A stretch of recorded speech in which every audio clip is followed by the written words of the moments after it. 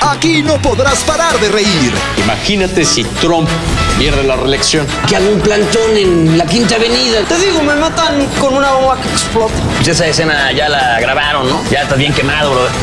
Acapulco, Quintana Roo. Y, y, este, y, en, y en cualquier antro. La parodia, lunes al terminar en punto.